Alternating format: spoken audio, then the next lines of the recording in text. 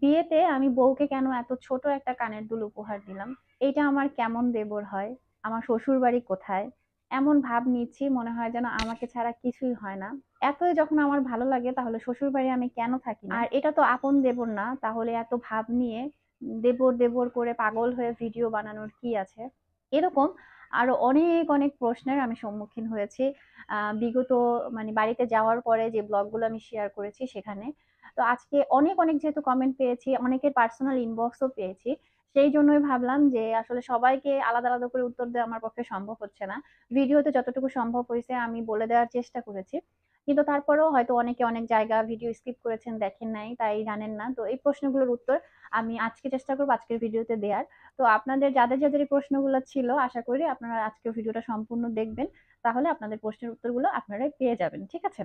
তো প্রথমে আমি বলতেছি যে এটা অনেক বেশি সবাই বলছে, আমার দেবরের বউকে আমি কেন এত ছোট একটা কানের দুল উপহার দিলাম? হ্যাঁ? তো এই প্রশ্নটা আমি যাচ্ছি। তার আগে আরেকটা যেটা প্রশ্ন কমন যে আপু আপনার শ্বশুর বাড়ি কোথায়? তো আমি ম্যাক্সিমাম ভিডিওতে কিন্তু বলেছি চট্টগ্রাম। তো তারপর অনেকে হয়তো মিস করেছেন, কারণ আমি ক্যাপশনেও মানে টাইটেলগুলোতেও কিন্তু উল্লেখ করছি যে চট্টগ্রাম আমার শ্বশুর বাড়ি তারপরে যেহেতু আপনারা হচ্ছে অনেকেই মিস করছেন, তাই বলতেছি আমার শ্বশুর বাড়ি হচ্ছে চট্টগ্রামে আনোয়ারাতে। আর আমার বাড়ি কোথায় এটাও অনেকে জানতে চাইছেন। আমার গ্রামের বাড়ি হচ্ছে বা বাবার বাড়ি হচ্ছে মাদারীপুর। ওকে। তো এরপরে যাচ্ছি মানে যেই দেবরের বিয়েতে গেছি সে আমার কেমন দেবর হয়? তো এটা হচ্ছে আমার মানে সম্পর্কের দিক থেকে যদি ভিত্তি করে বলতে যান তাহলে আমার হচ্ছে মামাতো দেবর হয়। কিন্তু সে আপন দেবরের চেয়ে কোনো অংশে কম না। তো অনেকে যেটা বলছেন যে আপনার মানে কমেন্টে যাদের রিপ্লাই দিছি আমি বা ভিডিও যারা দেখছেন, অনেকে বলছেন যে আপনার যেহেতু মামা তো দেবর হয়, আপন দেবর তো না, তাহলে এত দেবর দেবর করা বা হচ্ছে গিয়ে মানে এমন ভাব নিচ্ছেন যে আপনার আপন দেবরের বিয়ে। তো আমার আসলে আপন দেবর মানে আমার শাশুড়ির পেটের যদি চিন্তা করেন, সেটা হিসেবে নাই। কারণ ওরা হচ্ছে দুই দুই ভাই, দুই বোন। আমার হাজবেন্ডই সবার ছোট, তার মানে আমার আপন দেবর এবং ননদ নেই। কিন্তু সাগর আমার আপন দেবর এবং আমি সেটাই ফিল করি। এটার একটা কারণ আছে, কারণ সাগর হচ্ছে একেবারে ছোটবেলায় আমার মামি শাশুড়ি মারা গিয়েছেন। তো যার কারণে তখন থেকে, ছোট বলতে অনেক ছোট, তখন মেবি আফিফের সমান ছিল মানে আমার বড় ছেলের সমান বা তার ছোট এরকম ছিল, আমি এগুলো আমার শাশুড়ির কাছ থেকেই শুনেছি। তো তখন হচ্ছে, তখন থেকেই সাগরকে আমার শাশুড়ি নিজের সন্তানের মতো করেই বড় করছে। মানে অন্য সন্তানদের যেভাবে দেখছে সাগরকেও সেইভাবেই দেখছে। তো সেই সুবাদে আমরা সাগরকে কখনোই মানে মনে হয় না যে ও আমাদের মামাতু দেবর বা মানে মানে সম্পর্কে কাজিন বা দূরের কেউ, ঠিক আছে? সেই জন্য ওকে আমরা আপন দেবরের মতোই আসলে দেখি এবং বাসার সবাই মানে আফিফের আব্বু বলেন বা আমার ননাস বলেন বা আমার শাশুড়ি বলেন, সে তার সন্তানের মতো দেখে এবং ওরা আপন ভাইয়ের মতোই দেখে এবং যত ঈদ মানে আমার বিয়ের পর থেকে মনে করেন আমি যতদিনই দেখছি ঈদ হোক কোনো অনুষ্ঠান হোক, সবকিছুতে সাগর কিন্তু আমাদের সাথেই থাকে। মানে ওদের বাড়ি থেকে আমাদের বাড়িতে সময় বেশি দেয়। তো এই হচ্ছে গিয়ে কথা। এইবার একটা প্রশ্ন মানে এইটা নিয়ে সবাই বেশি খোঁচাইতেছে, সেটা হচ্ছে যে, আমার দেবরের বউকে কেন আমি এত ছোট একটা কানের দুল গিফট করলাম? তো প্রথম কথা আমি এটা বলতে চাই যে আমি যে ইয়াররিংটা গিফট করছি, সেটা কিন্তু মানে আপনারা এটা ভাইবেন না যে আমি আমার হাজবেন্ড মিলে গিফট করছি, বিষয়টা এরকম কিন্তু না। বা আমার হাজবেন্ড গিফট করছে, সেটা বলতেছি যে আমাদের পক্ষ থেকে গিফট এরকম না। সাগরের ওয়াইফকে মানে ওর বউকে আমি যে গিফটটা দিছি, সেটা একান্তই আমার পার্সোনাল যদি বলতে যান, আরও ভেঙে যদি বলতে হয় যে আমার টাকা দিয়ে আমি ওকে গিফটটা দিছি, আমার দেবরের বউকে। ঠিক আছে? তো আপনারা যদি এই সেন্সে চিন্তা করেন, আমি জানি না মানে আসলে গিফট আসলে টাকা দিয়ে হিসাব করলে হয় না, যে যার সামর্থ্য অনুযায়ী, যে যার ভালোবাসা অনুযায়ী এবং ওই মানুষটাকে সে কতটা মানে কাছের মনে করে, সেই অনুযায়ী কিন্তু মানুষ গিফটটা দিয়ে থাকে। তো আপনারা যেহেতু প্রশ্ন করতেছেন, এই জন্য আসলে আমার উত্তরটা দেয়া। আমি এটা নিয়ে কথা বলতে চাই নাই, কিন্তু অনেকে ইনবক্স পর্যন্ত চলে গেছেন। আমার একটু ঠান্ডা লাগছে, এই জন্য কথা বলতে একটু কষ্ট হইতেছে। আপনারা কষ্ট করে বুঝে নেবেন। তো যেটা বলতেছিলাম যে আমি অ্যাজ এ ভাবি হিসেবে আমি আমার যাকে এটা গিফট করছি, এটাই ধরে নিতে পারেন। আর অন্যান্য যে গিফটের বিষয়, ওই হিসাবে আমি যেতে চাচ্ছি না, ভাই কি করছে বোন কি করছে, আমার শাশুড়ি কি করছে, ওদিকে আমি মানে যেতে চাচ্ছি না আর কি আমি আমারটা জানাইলাম। যেহেতু ওই গিফটটা নিয়ে এই কথা হয়েছে সেই জন্য বললাম, ঠিক আছে? আর পরিবারে কিন্তু আর অনেকেই আছে, অনেকেই অনেক কিছু করছে, দিছে, সবকিছু কিন্তু আমি ক্যামেরায় আনি নাই। যেহেতু আমি ব্লগ করি, আমি আমার জায়গাটুকুর মধ্যে যতটুকু সম্ভব ততটুকু আমি শেয়ার করছি, ঠিক আছে? তো আই হোপ আপনারা বুঝতে পারছেন। আর তাছাড়া আসলে যারা না বোঝার, তারা হয়তো বুঝতেও চাইবেন না। আবার অনেকে আছেন যে, আপনি আপনার দেবরের বউকে আরও এত কিছু দিচ্ছেন আপনার সামর্থ্য আছে, আপনার ইচ্ছা আছে, আপনি করছেন। এবং আমার জায়গা থেকে আমার যতটুকু সম্ভব হয়েছে, যতটুকু ইচ্ছে হয়েছে, আমি ঠিক একেবারে পার্সোনাল ভাবে সেটা করছি, ঠিক আছে? তো এরকমই বা কয়জনে আছে যে গিফটটা এরকম হয় কি যে মানে দেবরের বিয়ে, ননদের বিয়ে, এটা কিন্তু ওই ভাই দেয়, সাথে মানে একসাথে যে আমরা এটা দিছি, এরকম বিষয়টা। কিন্তু একেবারে পার্সোনাল ভাবে কয় ভাবি মানে ব্যক্তিগতভাবে এরকম দেয়, সেটা আমার আসলে জানা নেই। তো যাই হোক, আপনারা আশা করি এই বিষয়টা বুঝবেন। আর যারা এটা নিয়ে অনেক পছন্দ করছেন, তাদের প্রশংসা তো করতেই হয়, সবাই অনেক খুশি হয়েছেন। যারা আমাকে ভালোবাসেন, পছন্দ করেন, তারা কিন্তু বলছেন যে এরকম ভাবি পাওয়া ভাগ্যের বিষয় মানে আমার কথা বলছেন, যে যে এরকম পার্সোনালি দেবরের বউকে কিছু গিফট করে। যাই হোক গিফটের সময় শেষ হয়ে যায় নাই। সম্পর্ক কেবল শুরু হয়েছে ইনশাল্লাহ সামর্থ্যে থাকলে আমি আমার জায়গা থেকে বেস্টটা দেওয়ার চেষ্টা করব ইনশাল্লাহ ঠিক আছে? এবার যেটা প্রশ্ন, ওই যে এটা তো উত্তর দিয়ে দিলাম যে, এমন ভাব কেন নিচ্ছে যে, আপন দেবর? যেহেতু আমার আপন দেবরই আমি মনে করি, সেই জন্য হচ্ছে গিয়ে, আপন দেবরের মতোই সবকিছু করেছি। হয়তো আফিফের আব্বুর আরও কাজিন আছে, তাদের বিয়ে হয়তো আমি যাব। কিন্তু ওর ক্ষেত্রে বিষয়টা টোটালি স্পেশাল এবং ও সেই মানে আমার বিয়ের পর থেকে সেই মর্যাদাটা ভাবি হিসেবে, সেই সম্মানটা, সেই ভালোবাসাটা সবসময় দেয়। সেই জন্য ওর জন্য আন্তরিকতাটা বেশি কাজ করে। আর আরেকটা কথা যেটা মানে বিষয়টা একটু নেগেটিভ ভাবে আমি জানি, আমাকে খোঁচানোর জন্যই বলা হয়েছে, সেটা হচ্ছে যে মানে আপনি এমন ভাব নিচ্ছেন, মনে হচ্ছে যে আপনাকে ছাড়া শ্বশুর বাড়িতে কিছুই হবে না, সবকিছুতে আপনাকেই আগে আগে দেখা যাচ্ছে। এখন এই বিষয়টা আমি একটু বলি শ্বশুর বাড়িতে আমার অবস্থান কতটুকু বা আমার অবস্থান আছে কি নাই, সেটা আসলে বলে কয়ে বোঝানোর বিষয় না। আর আপনাদের বোঝালেও সেটা বেড়ে যাবে না আমার আপনাদের না বললেও সেটা কমে যাবে না। যার যার অবস্থান, তার তার জায়গা থেকে সে তৈরি করে নেয়। তো এই বিষয়ে আমি ওইটা বলতে চাচ্ছি না। মানে ডিপলি যেতে চাচ্ছি না আর কি। তো আমি যেটা বলব, একটা বিষয় একটু খেয়াল করবেন যে একটা মানুষকে ফোকাস কখন দেয়, সবকিছুতে কখন ডাকে? সে সেই জায়গাটা তৈরি করতে পারলেই কিন্তু ডাকে। যে বউ, এই জিনিসটা করো বা বউ, তুমি এটা দেও। মানে এই যে একটা বিষয়, এটা কিন্তু সময়ের সাথে সাথেই হয়। আর আপনি সেটার উপযুক্ত না হলে, আপনি সেই মর্যাদাটা সবাইকে না দিতে পারলে, আপনাকে সেই মর্যাদা কেউ কখনো দিবে না। আর জায়গা কখনো জোর করে পাওয়া যায় না, যার যার জায়গা তাকে নিজের বানায় নিতে হয়, ঠিক আছে? এটা হলো কথা। আরেকটা হচ্ছে গিয়ে যে, বিয়েতে আমাকে কতটুকু মূল্যায়ন করল বা না করল সেগুলো আমি বাদই দিই। তবে আমার দেবরের মানে যার বিয়ে সে যেভাবে গুরুত্ব দিছে সেই বিষয়টাই আমি একটু বলি। সেটা হচ্ছে যখন ওর বিয়ের ডেটটা মানে ফেলছে ওই টাইমটায় হচ্ছে আফিফের আব্বুর ছুটি নেওয়াটা একটু ডিফিকাল্ট ছিল। কারণ ওর বেশ কয়েকজন কলিগ সেম টাইমেই হচ্ছে অলরেডি ছুটি নিয়ে ফেলছে তো যার কারণে ওর ছুটি নেওয়াটা একটু টাফ ছিল। বাট ওই টাইমটায় আমার দেবর আমাকে বলতেছিল যে, ভাবি, ভাইয়া যদি আসতে দেরিও হয় বা নাও অ্যাটেন্ড করতে পারে বা বিয়ের দিন এসে শুধু অ্যাটেন্ড করে, আপনি এক কাজ করেন, আমি ঢাকা আসি, এসে আপনাকে আর বাচ্চাদেরকে নিয়ে মানে চট্টগ্রাম যাব আর কি দেন হচ্ছে গিয়ে দরকার হলে ভাইয়া যদি নাও আসে, আমি আবার বিয়ের অনুষ্ঠান সবকিছু শেষ করে আপনারা বেড়ানো টেড়ানো হয়ে গেলে তারপর আবার ঢাকা দিয়ে মানে দিয়ে যাব।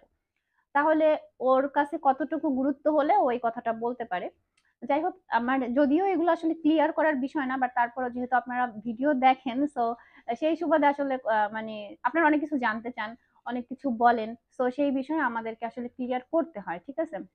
এমনিতে এইভাবে বসে আসলে মানে কমেন্টের উত্তর দেওয়া বা বলা আমার কাছে একটু আনইজি লাগে বাট তারপরে অনেক কমেন্ট যেহেতু ছিল, আসছে সেই জন্যই বলা।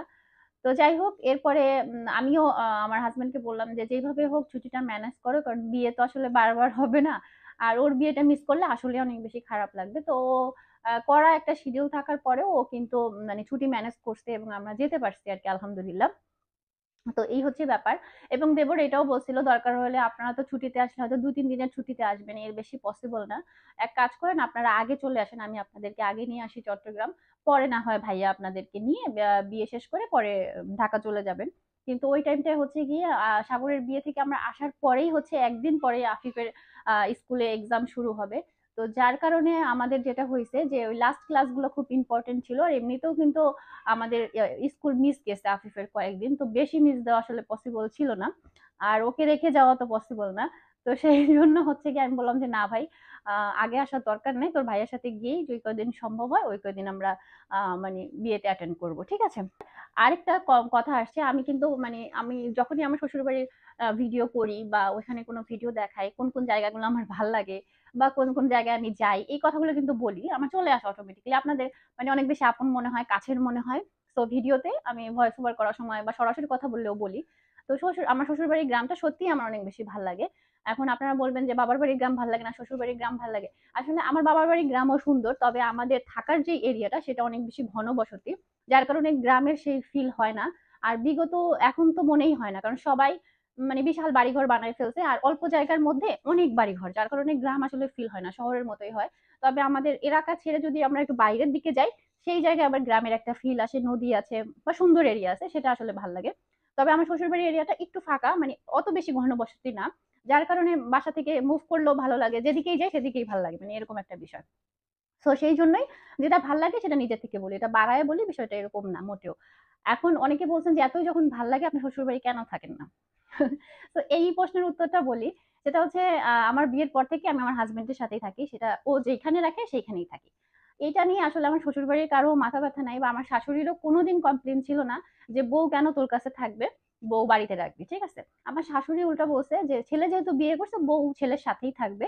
আর বউ সাথে থাকলেই আমার ছেলে ভালো থাকবে। আমার শাশুড়ির কথা হচ্ছে এটা, যে বউ না হলে তো ছেলে মেসে থাকার মতোই একটা ব্যাচেলার জীবন লিড করবে, সেটা আসলে সেও চায় না। সে বলে যে, বিয়ে করছে মানে আমার বউ তার রান্না বান্না থেকে শুরু করে সবকিছু দেখাশোনা করে আমার ছেলেকে যত্নে রাখবে। এটা হচ্ছে গিয়ে আমার শাশুড়ির মেন টার্গেট ঠিক আছে? বা মেন ইচ্ছা।